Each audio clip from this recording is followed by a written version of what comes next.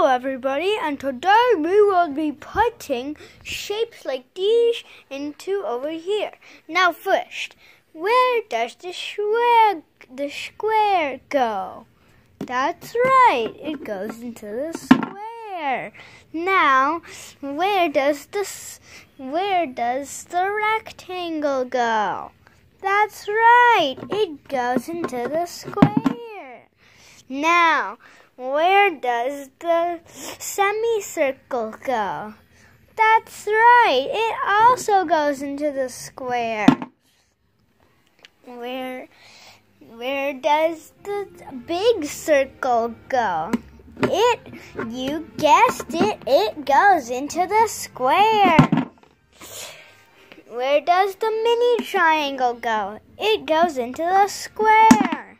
Where does the bridge go? It also goes into the square. Where does the big triangle go?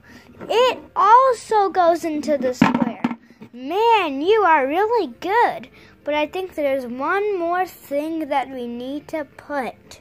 Where does monkey go? You guessed it. It goes into it goes into the square.